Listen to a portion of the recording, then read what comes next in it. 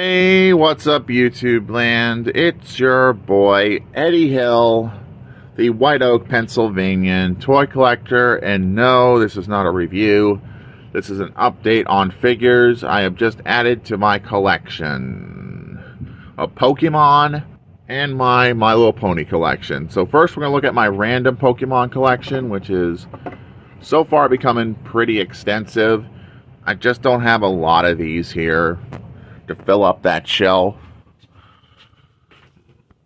Over here is where I'm keeping my random first season Pokemon. We got plushies up top. We got figures. We got a Golem. We got Pikachu's, Sandshrew, Golduck, Pokeballs, Squirtle, Charmander, Bulbasaur, Pikachu, Eevee, Jigglypuff, and Meowth.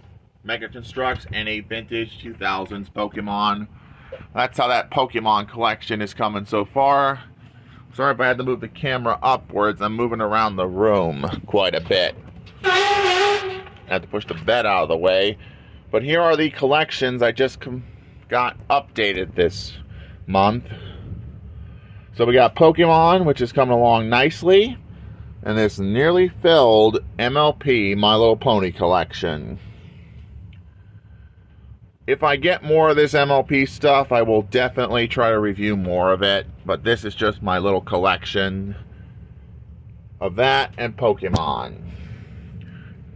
And it's just a mini collection update. If you like this video as much as I enjoyed making it, please make sure to like, Please make sure to comment.